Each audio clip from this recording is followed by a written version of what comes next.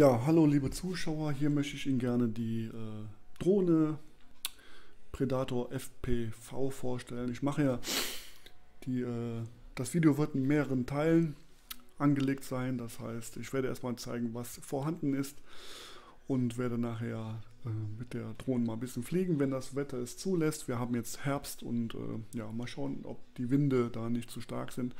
Mal sehen. Aber ich mache auf jeden Fall ein Video davon, äh, von den Flugeigenschaften und ich werde auch ein Video äh, noch dran äh, oder vielleicht auch am Laptop anzeigen von den äh, Filmeigenschaften der Drohne. Okay, ich fange einfach mal an. In dieser großen Verpackung kam es an. Ich, das passt kaum ins Bild. Wie gesagt, ist aber ordentlich verpackt worden. Macht einen guten Eindruck. Und äh, ja, hier haben wir die Utensilien. So ist es jetzt. Ich habe es noch nicht angefasst, deswegen das ist wirklich jetzt äh, im Endeffekt Premiere. Ich habe mir eben mal kurz reingeschaut, damit das Suchen nachher nicht äh, zu lang dauert, was da äh, vorhanden ist und wie man das äh, befestigt im Endeffekt. Ja, hier haben wir erstmal natürlich erste Augenmerk. Die äh, Drohne hat eine gute Spannweite. Im Endeffekt die Rotoren machen einen sehr guten, festen Eindruck. Äh, hier auf der Unterseite haben wir die Kamera sitzen und dem Batterieschacht. Die Kameralinse, was ich sehr gut finde, ist äh, verstellbar. Das heißt, man kann den Winkel einstellen, die man filmen möchte zum Beispiel. Ne? Hier ist ein kleiner Bereich, den man da einstellen kann. Ist im Endeffekt aber auch wichtig, damit man auch äh, weiß, wo man filmt starre, es gibt auch Systeme mit starren äh, Linsen, die ich überhaupt nicht mag. Da kann man eigentlich nur in ein, eine Richtung. Hier könnte man eine bessere Draufsicht haben und hier eine bessere Weitsicht, je nachdem, was halt, was man da halt äh, filmen möchte. Das finde ich äh, recht positiv. Ja, die ist hier eingehakt. Ich lasse es auch so drin mit dem Funksensor. Äh, der Funksensor ist hier für das WLAN zuständig, um damit äh, mit dem Handy gekoppelt zu werden. Gut, hier haben wir noch den Schacht. Da ist schon eine, ein Akkupack eingepackt. Lithium-Polymer-Akku. Diese sind auch, ja, ich finde die eigentlich ganz gut. Lithium-Polymer wird eigentlich generell im Modellbau verwendet. Hat 1000 mAh äh, Leistung. Gut, äh, hier ist so eine Steckverbindung vorhanden. Diese verbindet man dann mit dem Drohnenteil. Die Steckverbindung ist aber auch schön groß. Ich hoffe, man kann es jetzt so sehen. Ne, also ist nichts Kleines oder Fummeliges, sondern hat eine richtig angenehme Größe, weil bei den anderen, die ich schon mal hatte und die mein Sohn hat, äh, da sind manche doch sehr recht klein und äh, sehr empfindlich im Endeffekt. Hier hat man wirklich große Einheiten, die man hier zusammenfügt. Ne? Das braucht man sich keine großen Sorgen machen. Auch die Kabel sind nicht dünn oder so, sondern haben eine ordentliche Dicke.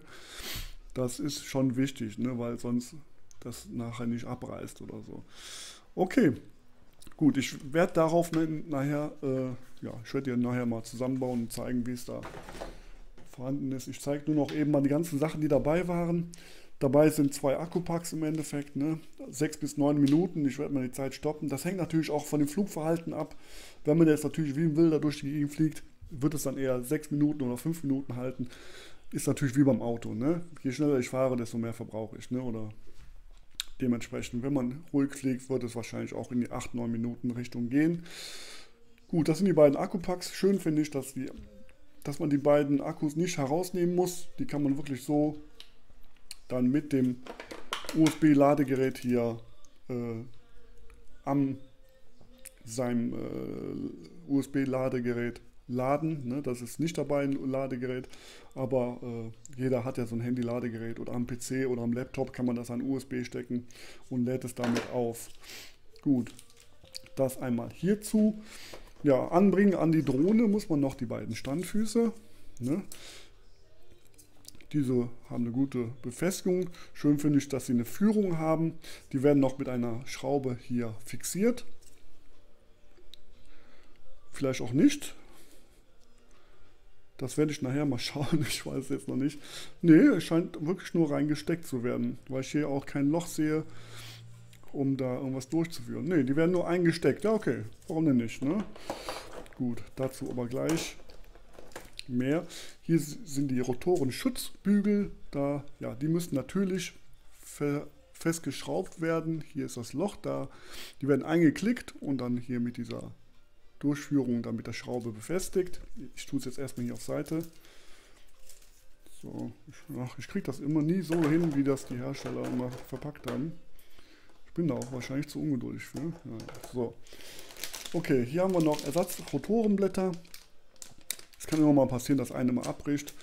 Äh, das Schöne finde ich auch, dass man zwei Farben hat. So weiß man, wo der vordere Bereich ist. Ich denke mal, orange ist der vordere Bereich und schwarz der hintere Bereich. Dass man immer erkennt, in welchem Modus das Ganze sich befindet gerade oder in welcher, damit man da sich nicht vertut, kann man das auch mit Sicht bei Sichtflug äh, erkennen, äh, wo vorne und hinten ist, wenn die Drohne jetzt mal 20 Meter weiter weg ist. Ne? So, dann haben wir hier noch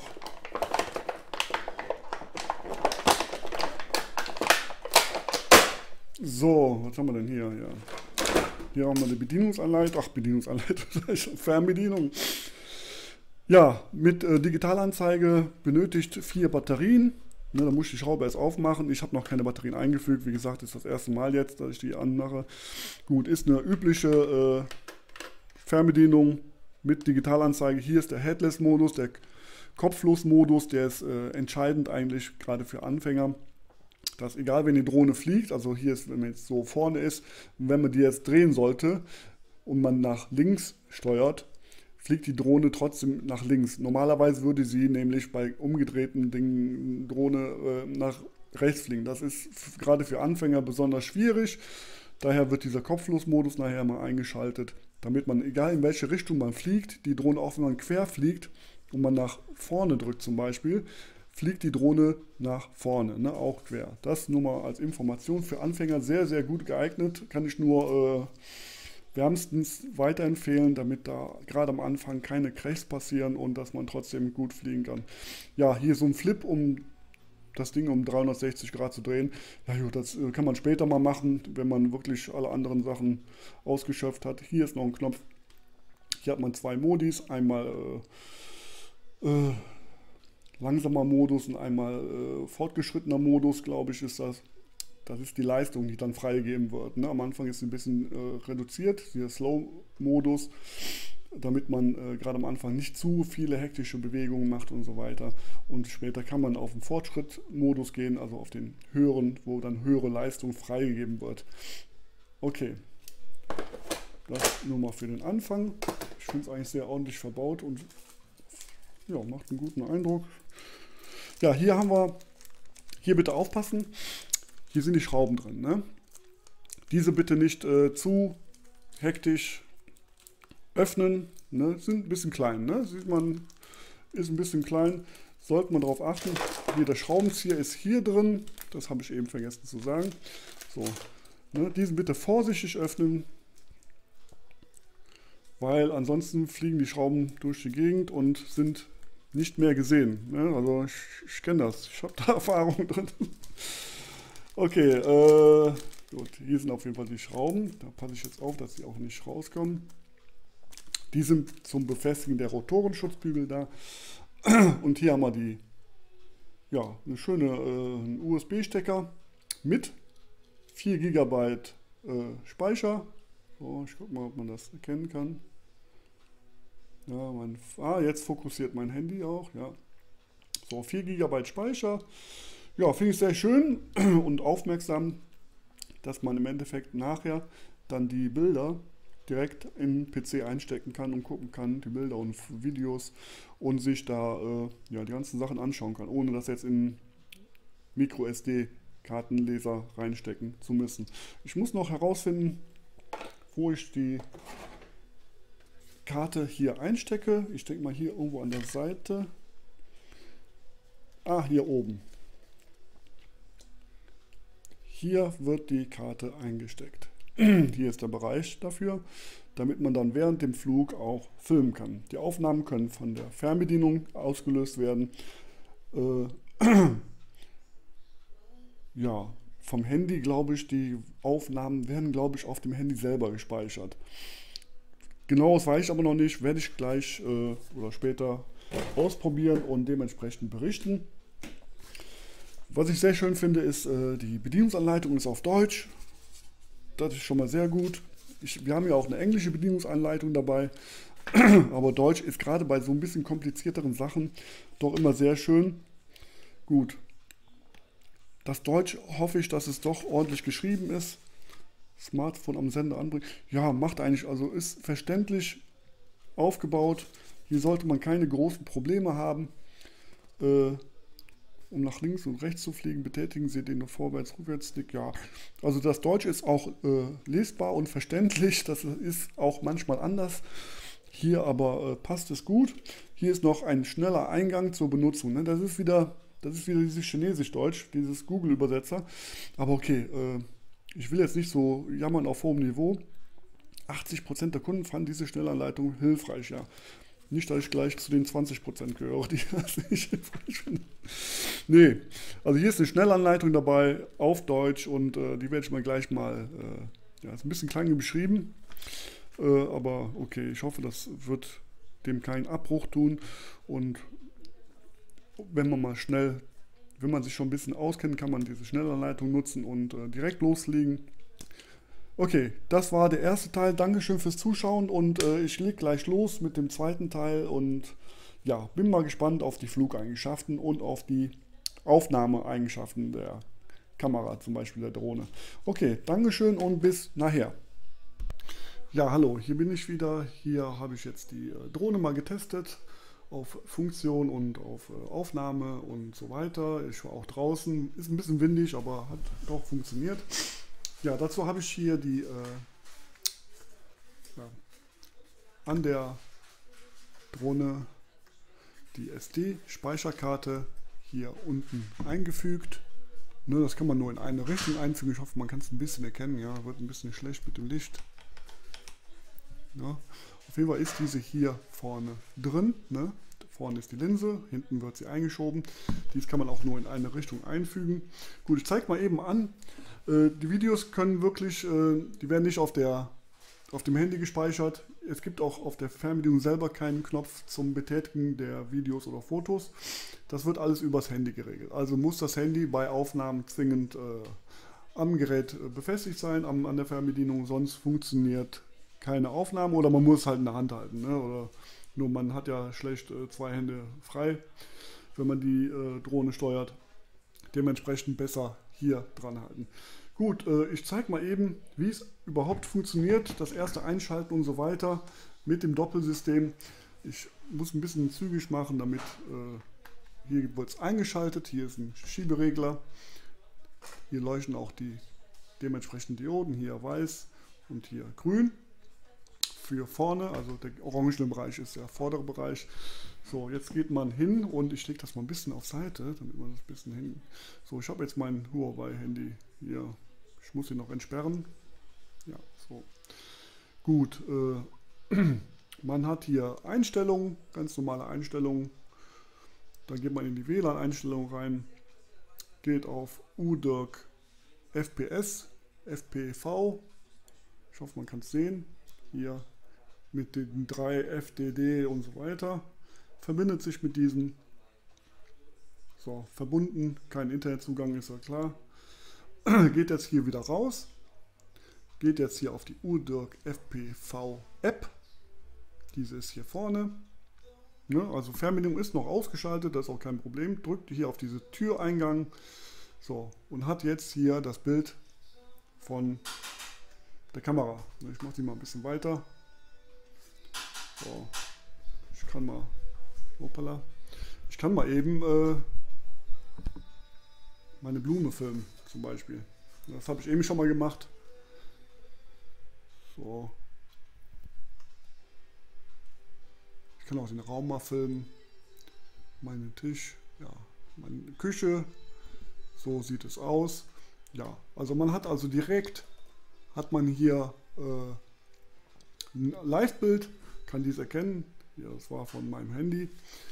Gut, das nun mal als erstes. Man kann auch jetzt zum Beispiel hier direkt die Einstellungen starten. Hier äh, den äh, Kopflos-Modus einschalten. Dann könnte ich jetzt zum Beispiel direkt auch fliegen. Ne?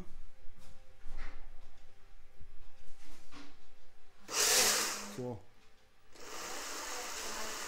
So, das äh, funktioniert also mit der App auch gut.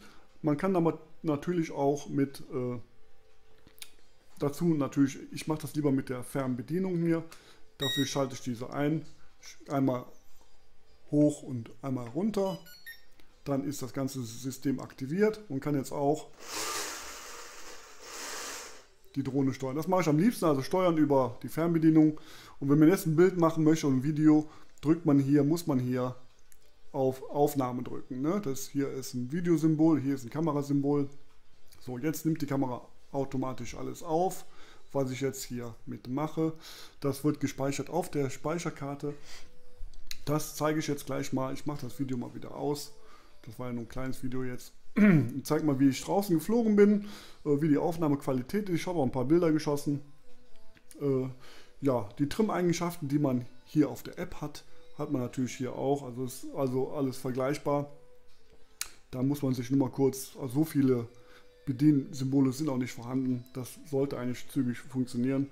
Gut, äh, ich schalte das System mal wieder aus. Beides. Die Drohne auch. Hoppala, so ist ein bisschen inhaltlich. Ja, Flugeigenschaften bin ich eigentlich zufrieden mit. Ich, ich kann generell nicht so sehr gut fliegen damit. Mein Sohn kann das viel besser. Hol die äh, SD-Karte mal raus, die Speicherkarte, Micro-SD-Karte. Das ist ein bisschen fummelig. Da kann man die Kamera-App, die Kamera auch entnehmen. Habe ich aber jetzt nicht gemacht. Also ansonsten mal eben mit einer Pinzette rausfügen. Das funktioniert dann leichter. Hier ist die Speicherkarte jetzt, die 4 GB Speicherkarte. Hoppala. Diese füge ich jetzt hier in die richtige Richtung ein. So. Und äh, werde mal am PC einfügen. Dazu nehme ich jetzt mal mein Mikro ab. So. Und das Handy. Hier bin ich auf meinem PC. Hier haben wir die Speicherkarte. So, füge die in meinen Laptop ein. Richtig rum soll es schon sein. Okay. So, jetzt wähle ich das Laufwerk aus.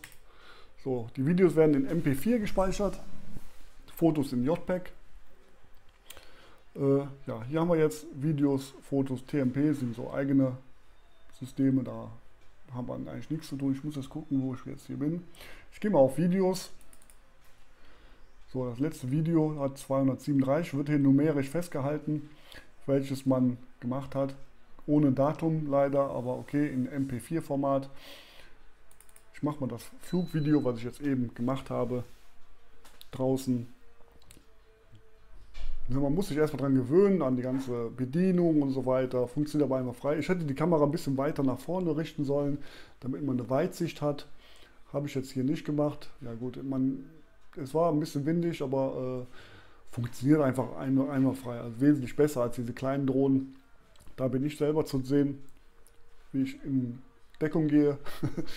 ja, das ist nur mal ein kleines Beispiel über die Qualität von der äh, Kamera. Ich kann auch mal Bilder zeigen dafür. Also hier werden die ganzen Videos aufgezeichnet, der Videoordner. Die sind automatisch angelegt worden. Hier der Fotoordner. Ich kann mal jetzt das letzte Foto mal nehmen, was ich jetzt gemacht habe. Ja. Ne, das ist ein Foto jetzt von der Drohne selber. Also ich finde es bei Helligkeit und bei Ausleuchtung ist es eigentlich wunderbar. Macht einen guten Eindruck. Ich bin also sehr zufrieden von dem System. Und ja, einzige, was ich ein bisschen blöd finde, ehrlich gesagt, ist mit dem, dass man äh, die Videos auf der Speicherkarte äh, an, einschalten muss an der Handy-App. Ne? Das hätte man auch einen Knopf machen können, auch in der Fernbedienung. Das fand ich jetzt ein bisschen äh, blöd. Aber gut, wenn es jetzt da eingehackt ist, schaltet man die am Anfang vorm Start mal ein und dann läuft es halt im Endeffekt. Ne? Zwischendurch Fotos machen, während man fliegt, ist ein bisschen schwierig, denke ich mal, äh, da gleichzeitig einen Fotoknopf zu drücken und äh, daher spezialisiert man sich eher auf die Videos und ja. Von mir einen Daumen hoch, äh, gute äh, Drohne, äh, gute Flugeigenschaften und äh, die Kam Kamerabilder sind äh, akzeptabel und gebrauchbar. Ne? Sieht man ja selber, sind sehr schön eigentlich. Okay, lieben Dank fürs Zuschauen und äh, ja, viel Spaß beim Fliegen und schönen Tag noch. Dankeschön.